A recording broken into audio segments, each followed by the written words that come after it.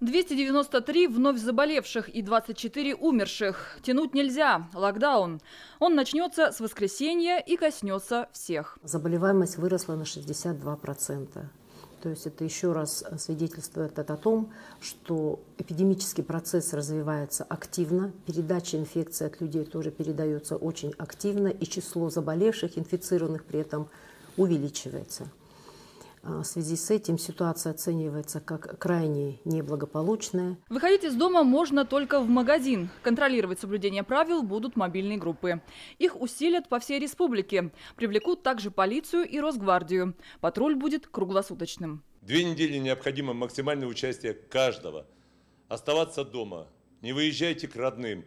Отложите встречи с друзьями. Выходные дни для того, чтобы все остались дома не для того, чтобы устраивать выездной отдых, пикники и рыбалки. На две недели ограничат доступ ко всем водоемам республики. Проехать не получится и в курортную зону Тункинской долины. Пропустят только с пропиской, а также документами на дом или дачный садовый участок. Тех, кто нарушит режим, ждут штрафы. Штрафные санкции для граждан в размере от 500 рублей до полутора тысяч рублей, на должностных лиц от двух с половиной тысяч до семи с половиной тысяч рублей, на юридических лиц от 12 с половиной тысяч до 20 тысяч рублей. Те же действия, совершенные совершенные повторно, они, безусловно, влекут более строгую ответственность. Наказать рублем могут из-за препятствия работе исполняющих органов. Для физлиц штраф составит от 1 до 3 тысяч рублей, для должностных от 3 до 5 и для юридических от 5 до 10 тысяч. Кому можно будет выходить из дома, так это работающим гражданам. Запрещена деятельность практически всех предприятий, кроме жизнеобеспечивающих – продуктовых, аптек, ЖКХ и других.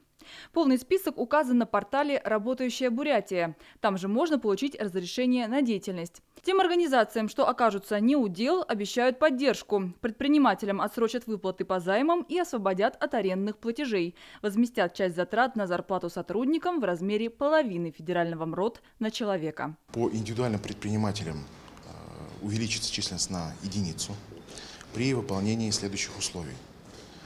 Это нахождение постоянно на 1 июня текущего года в реестре субъектов малого и среднего предпринимательства, сохранение численности сотрудников по состоянию на 1 сентября текущего года и согласие на раскрытие налоговой тайны в отношении организации, что позволит нам э, обрабатывать соответствующие данные. Тем временем вакцинация даже в локдаун продолжится. Сохранится масочный режим.